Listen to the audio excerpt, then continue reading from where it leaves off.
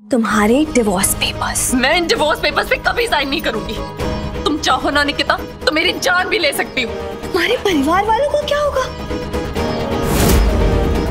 मेरे घर वालों का नुकसान मत पहुँचा निकिता उन्हें छोड़ दे। इतनी चिंता है परिवार वालों की तो कर दो ना sign